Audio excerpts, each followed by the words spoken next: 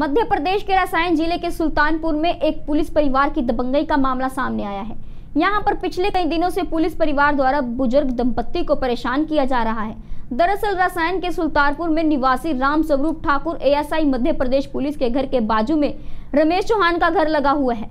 यहाँ पर police ASI Ram Swaroop के घर का गंदा पानी स्वयं के घर से ना निकाल कर बाजू से लगे रमेश चौहान के घर से खुदाई कर पाइपलाइन डालकर पानी बाहर निकाला जा रहा है। इतना ही नहीं, घर में रह रहे बुज़ुर्ग दंपत्ति को पुलिस प्रकार द्वारा धमकाया भी जाता है, जबकि दोनों परिवारों के मकान की जगह रजिस्ट्री वाली नहीं, बल्कि पट्टे वाली जगह है। इस मामले को लेकर पीड़ित परिवार कई दिनों से स्थानीय प्रशासन से लेकर जिला कलेक्टर और कई जिम्मेदार अधिकारियों को शिकायत कर चुका है। इसके बावजूद भी कोई जिम्मेदार अधिकारी पीड़ित परिवार की सुनवाई नहीं कर रहा।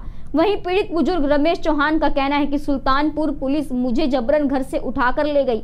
और पुलिस परिवार के स्वयं के लिखे हुए राजीनामा पर साइन करवा दिया।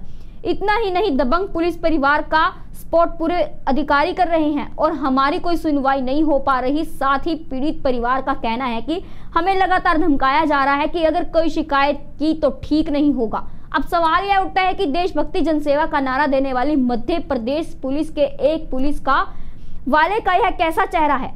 जब रक्षक ही भक्षक बन जाएँ तो ऐसे में आम जनता का क्या हाल होगा? इससे अंदाज़ा लगाया जा सकता है कि पीड़ित परिवार ने बताया कि एसआई रामस्वरूप ठाकुर भोपाल के पिपलानी थाने में पदस्थ हैं। अब देखना होगा कि इस पीड़ित परिवार की सुनवाई कौन जिम्मेदार करता है।